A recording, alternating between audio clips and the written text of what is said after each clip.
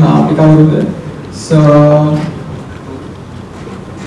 I like to look at some statistics. So there are 8 million plus chronic patients in our country. And uh, if we take the total population of the country, it's uh, around 20.48 millions.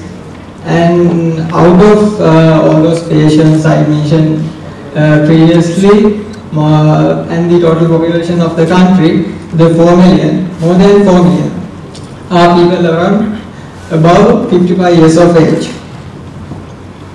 And I like to uh, show you some video.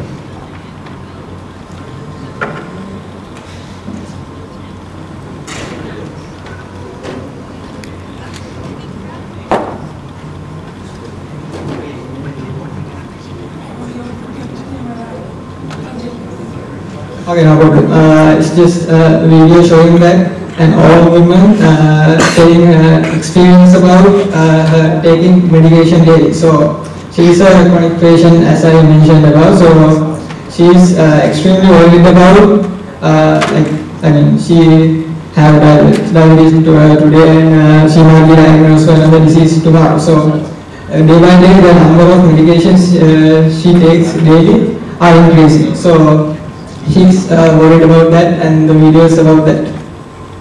And so we are here to find a solution for the management and tracking of daily uh, medi uh, medication uh, for the people. So uh, that's uh, where I like to introduce our solution called uh. So this is a uh, mobile telco and mobile based and IoT based or combination of all those technologies based application which will allow users to uh, manage their medication uh, through telemetries. This is a small demo where uh, when user goes to the device and gathers uh, the medicine. They just have to go to the uh, go near the device and uh, just take the medicine out of that. They don't have to care about I have to take this pill, this pill, this pill. They just have to go there every setting is preloaded, they just have to take the pill out. So our applications uh, work more, mostly through the SMS. So when the user has to take a medicine, he gets an uh, SMS alert saying that it's time for your medication. And also, if he misses something like, uh, so think that you missed the uh, morning medication. So he gets a message that you miss this uh, medication.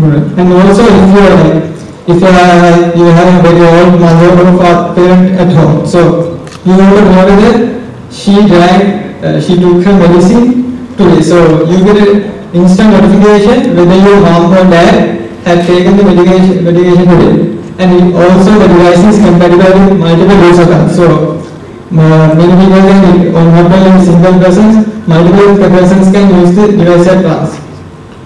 So, and this is also cross-platform compatible uh, because we are using hybrid uh, mo- mo- mobile application framework. The uh, application is compatible with any device available on the market. And also, our potential customers are mainly people with chronic diseases, and the biggest subset of that uh, group is elderly people.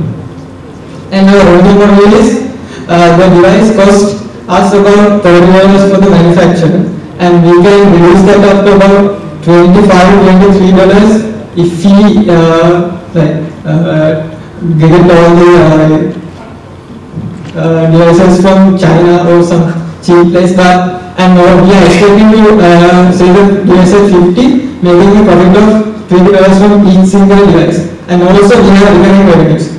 For each SMS alert, we are charging one rupee, and if we get some customized messages for uh, the for people, for some diseases, we can get some customized messages. So we will be charging rupees for those messages and a service charge of 50 rupees per month. And the advantage is this is extremely cost compared to the other solutions available in the market.